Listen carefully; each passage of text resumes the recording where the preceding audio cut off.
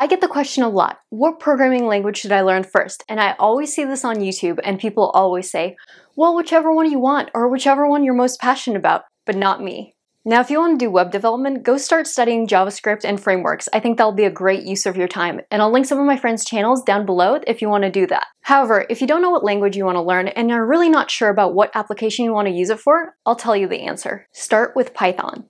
Python became the most popular programming language in 2018, and because of its popularity, pretty much everyone I know uses it in some way, even if it's not your main programming language. Even if you're coding day to day with Go, for example, like me, you may actually have your deploy scripts written in Python. Or maybe you need to get some data off a website and build a web scraper. Or if you need to analyze some data, use Python and pandas. Or even if you want to write a neural network or use a quantum computer to take over the world, Python.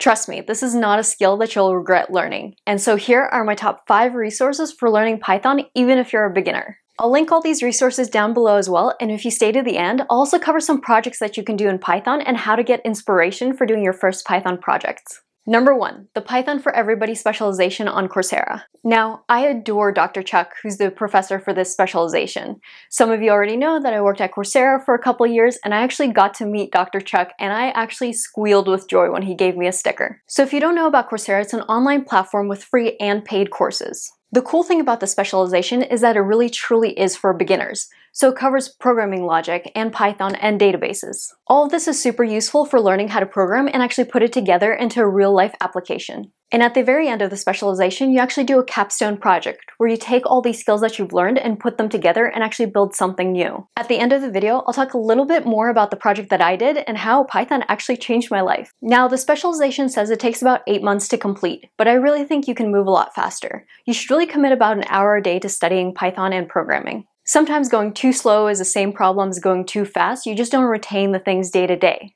The best thing you can do is make a plan to study daily and set aside that time to really understand the concept and hone those skills. The best part is there's really no requirements for taking this course. No math background, no computer science background. Now some languages and courses really cater to not beginners and experienced programmers when they're teaching the beginning concepts, but not this one. This really focuses on how computers think first of all, so you build that intuition in programming. The most striking example of this is when Dr. Chuck shows a list of numbers on the board and says, well, if you want to find the largest number here, how would you as a human look for it? Well, as a human being, your eye is immediately drawn to the larger numbers with the more digits. So you can immediately be drawn to those three digit numbers and identify them and only read those to see which is the largest. But a computer can't do that. I think this is awesome to really help you work on your programming mindset because sometimes things just click after that. You can really put yourself in the shoes of the computer. Another cool thing is that for the first few courses of the specialization, you don't actually need to install anything on your computer to actually start writing code. You learn to code directly on the platform, so that eliminates the barrier of having to deal with IDEs picking and that analysis and learning the terminal and all that stuff. You just get straight to coding. And remember, the best part of this is that Coursera courses are actually free if you audit them. That means you won't get access to the graded assignments, but that's okay. You can still do the assignments yourself and grade them yourself. Number two is a book called Learn Python the Hard Way.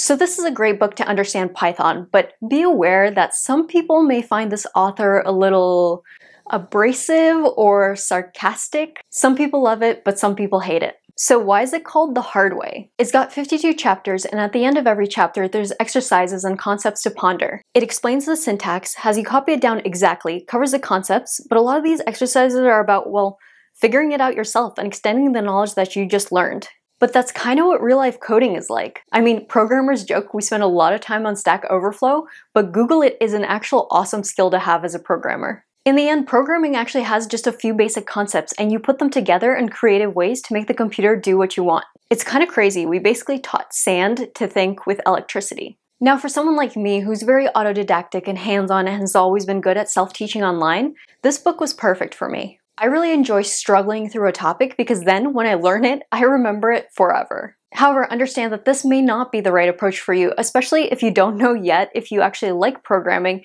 and so I don't want it to scare you off immediately. But if you do want to learn Python the hard way, this is a really good choice. It's a polarizing choice, but it worked for me. Number three is Codecademy. So I've covered video-based learning and I've covered a book, but this is a hands-on coding platform. This course includes coding challenges and takes you through building projects to learn to code in Python.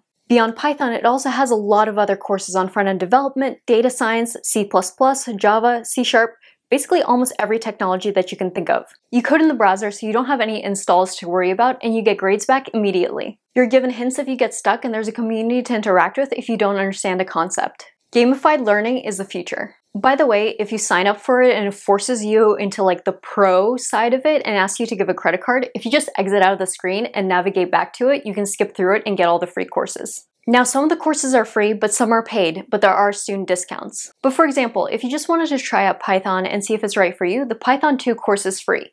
And there's a little bit difference between Python 2 and Python 3, main thing being actually how the print works, but if you learn Python 2, the transition to Python 3 really won't be that hard. If you can though, I recommend learning Python 3. Resource number 4 is Python Crash Course. This book is amazing, mostly because it's one of the most approachable books for absolute beginners in the field. Once you learn how to program, some things just become second nature to you, but this author really knows how to put himself in your shoes as you're going through learning these concepts for the first time. It not only helps you how to code in Python, but it also introduces you to libraries that are really useful when you're doing your projects.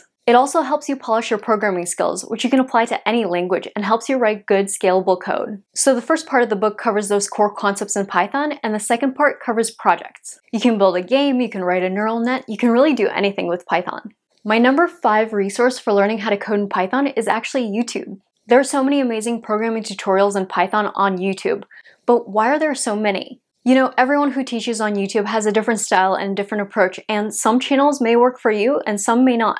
I do want to shout out Caleb Curry, who has a seven and a half hour Python programming all-in-one tutorial for free on YouTube, from the basics all the way to coding an app in Django. Another great YouTube channel is Free Code Camp. Now, you may know about the online coding platform, but did you know they also have a YouTube channel? They have a four and a half hour full Python course for free on YouTube and more videos on Python projects and going deeper on topics like data analysis. And of course, I gotta shout out my own channel. I definitely want to talk more about Python here, especially with the applications in quantum computing and deep learning and machine learning. So stay tuned and subscribe to this channel as well. So now let's talk about projects to actually practice your Python skills. Knowledge is really useless unless it's practiced. And once you take off the crutches of the IDEs and the courses that handhold you through these projects, you're really gonna learn a lot. So you'll not only learn those programming skills, but you're also going to learn the time-honored programmer tradition of Google it in Stack Overflow to understand how you actually use this thing in your own code. And I feel like the best way to actually practice a coding language is to solve a problem that you have with code. Let me tell you what I did for my capstone project in the Python for Everybody specialization because I'm very proud of it. So actually I had a massive problem and I was having massive skin breakouts. And would you believe it that Python actually helped me solve my skincare problem? I used Python to build a Django app where I would input all the products I used in the past and whether I had a breakout from them or not. By the way, Django is a backend web framework for Python. I also use Python here to scrape data off the website for all the products, including the ingredients list. So then I took those ingredients and then I actually cross-referenced another database, which had skincare toxicity ratings, irritation, whether clogged pores or not. And I took all that data and I combined that together to predict what would actually give me a breakout. And then I found it, the ingredient and the product that was my culprit sweet almond oil in the Cetaphil in a tub, which was really annoying because it's supposed to be like the best dermatological recommended product and it gave me breakouts because of that sweet almond oil. And now I always avoid it. So Python helped me save my skin. So really, when you look at a project to do, look around the world and see what's annoying to you and what could you solve with code. Maybe you could automate good morning text to your significant other. By the way, neither of us hold liability if that said partner gets mad because you're automating good morning texts instead of sending them, so FYI. Or maybe you want to build a web app and use Flask, a Python framework. Maybe you need to, I don't know, like I do, I always write my tags when I upload a YouTube video in a list and I actually need them to be comma separated. So I made a utility to move that list into a comma separated list. Yes, I actually use Python to help me with my YouTube video uploads, including the Go video that I just posted. You've got to have a problem that can be solved with Python.